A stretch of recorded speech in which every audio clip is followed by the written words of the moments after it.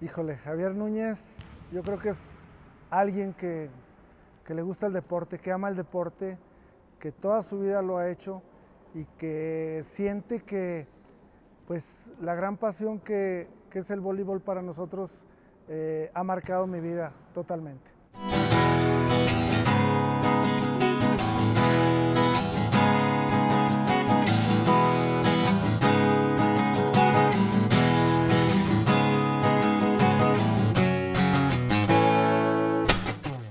Yo llego por mis hermanos, yo, soy el séptimo de, ocho hermanos y bueno, pues eh, ellos practicaban regularmente de alguna manera recreativa y pues de ahí empiezan a hacer el, el, gusto por el voleibol. Pues mi primer uniforme fue en la primaria Benito Juárez eh, en Zacatecas eh, con el profesor Rodolfo Vázquez Huerta que él nos da la oportunidad de, de estar entrenando. Íbamos a las 6 de la mañana prácticamente a entrenar, él nos llevaba, nosotros entrábamos a las 8 a la escuela, pero nos citaba a las 6 para poder entrenar, entonces ahí era, era, era fantástico estar, era oscuro, estaba oscuro, y pues éramos unos niños que, que, nos gustaba este deporte. Y bueno, no sé si podemos decir marcas, pero eran unos Void horribles que, que pues prácticamente nosotros les decíamos que eran piedra Void, Ahora pues bueno, ya, ya tenemos el gusto por, por, tener algo mejor,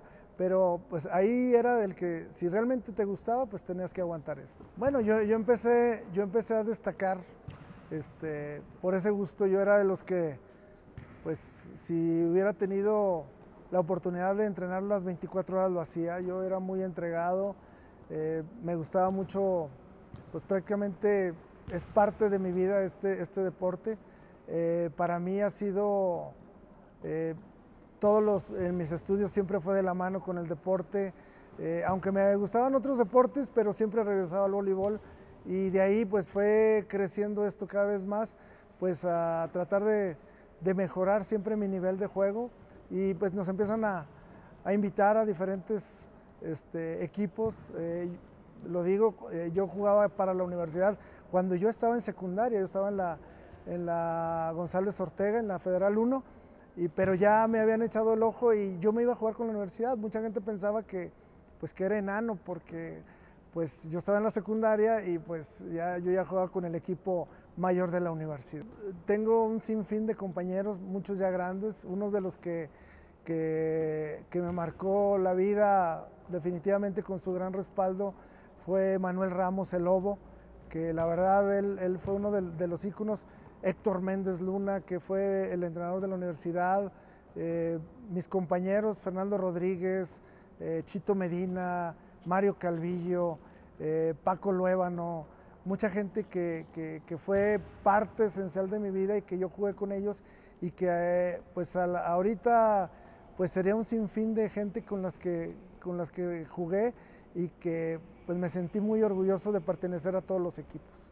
Bueno, eh, a mí yo me gano una beca a Estados Unidos para irme a estudiar y, pues me fui y a la aventura solo con mi mochila, con toda la ilusión del mundo.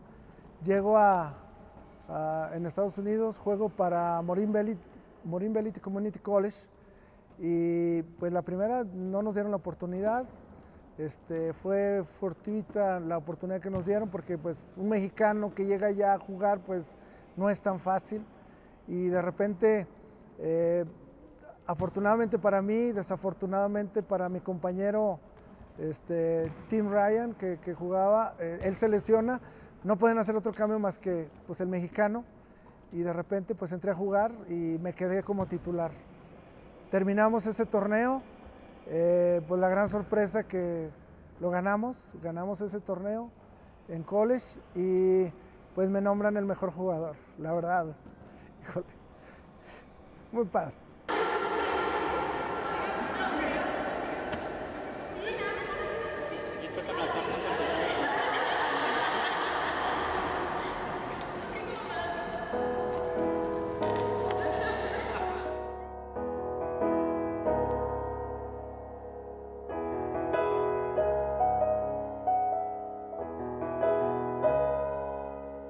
Este, en ese tiempo estaba como entrenador el maestro Parjiku, que en paz descanse, coreano, nos, invita y, y, empezamos a jugar. Salimos fuera, jugamos, no quedamos en la selección, no quedamos entre los 12, pero me hacen la invitación para jugar con la selección del norte. Eh, jugamos mucho tiempo eh, y pues ahora de repente veo a mis compañeros, algunos ya fallecieron, otros siguen, eh, pero seguimos en esta tónica, con este amor por este deporte, que creo que para nosotros esa época fue inolvidable, el jugar contra el ejército mexicano. hace poco como anécdota, hace cuestión de un año, todavía sigo, bueno, todavía sigo jugando, este, ahora en máster, y de repente me dicen, vamos a jugar contra el ejército. Obviamente yo creo que estábamos jugando contra los nietos de, esa selección del ejército que era muy fuerte a nivel mundial y, les daba mucha risa, dice, porque me decían, Javier, ¿cómo le haces? Dice, a pesar de que los años que tienes sigues jugando, le digo, esto, esto es mental, la, la edad es mental. Yo creo que cuando tienes ganas por esta pasión, yo creo que es algo muy importante y no dejas de hacerlo pues muchas satisfacciones. Yo creo que el voleibol me ha abierto las puertas inclusive para mi trabajo. Yo, yo lo digo, yo estoy ahorita como entrenador de, de los equipos representativos de la universidad, trabajo en el Instituto del Deporte, pero yo llegué al, Instituto del Deporte como entrenador. Entonces ahora cumplo otra función. Los amigos que hemos son innumerables y donde quiera que nos paramos, donde quiera que hemos estado, la verdad, eso nos ha dado la pauta para, abrir camino, no solamente para Javier Núñez, para todos muchos, muchos niños, muchos jóvenes que, siguen abriendo, tratan de, buscar una ilusión. Lo digo, por ejemplo, eh, ahí está Karen Romero Castro, que está jugando para la Universidad de Chihuahua. Ella, pues ella salió de la, escuela con nosotros y pues tiene una beca completa, eh, ha ganado todo a nivel nacional, eh, universitarios, primera división, segunda división y ya nada más le falta el pasito para estar en selección nacional. No quisiera yo ahondar mucho en, mis logros porque mis logros son a diario. Eso es, yo creo que es lo más importante. Los logros son con los niños, con los jóvenes, porque cada vez que llega un niño es un reto más para mí.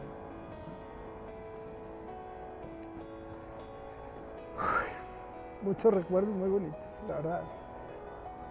El llegar, el, el ver el sol, el, bueno, pues esos niños que, ahora ya, ya son profesionistas, eso es, el orgullo que yo tengo, de que salieron de un arroyo y una de las intenciones era esa, ¿no? de, de que no solamente el deporte como actividad física, sino el deporte como formación. Eso es lo que nosotros buscamos. El arroyo para mí ha sido un parteaguas antes y después porque nadie creía en ese proyecto, nadie. Nos fuimos a la aventura. Eh, Antonio Correa, eh, yo creo que hemos hecho durante 10 años una mancuerna indudable. Lo trabajamos, lo buscamos y creo que lo logramos. Y lo seguimos logrando. Ese, pues esos niños que ahora los ves profesionistas, Ahora los ves a unos ya casados con, perdón, este, con, con, ese hambre, ¿no? De que tal vez ahora que forman familias, ahora que, quieren seguir esos pasos, yo creo que esa es la semilla que se sembró ahí y que sigue trabajando y que seguimos trabajando. Y pues aquí está una prueba, ¿no? Hay gente que eso creció, hay gente que viene de Enrique Estrada, que viene este, de Calera, que viene de Jerez, de Nochistlán, de muchos lados, que el hablar de Calera ya no es el pueblito, ya no es el arroyo, ya es un centro de entrenamiento para toda la gente que le gusta el voleibol. Así es, yo creo que está también Emanuel García que está en Nochistlán, eh, mm, Alejandro, Alejandro García que, que está en Fresnillo. E, ellos han salido de esa escuela, ellos han querido, nosotros hemos tratado de apoyarlos. Ese legado que yo creo que el día de mañana, que ya no estemos por aquí, en, esta aventura por esta vida, creo que eso es lo que podemos nosotros realizar, que, haya quien le dé el seguimiento, que haya gente que, realmente le guste trabajar y que vea esto no como como algo, no algo, monetario, sino que la satisfacción de, poder ser, de dar algo, al menos en esta vida, que, que para eso venimos. No, jamás. Yo esto no lo cambio por nada. Y así tuviera 10 vidas, volvería a escoger la misma vida y el mismo deporte. Yo creo que es que cada vez que empezamos con un niño es un reto nuevo.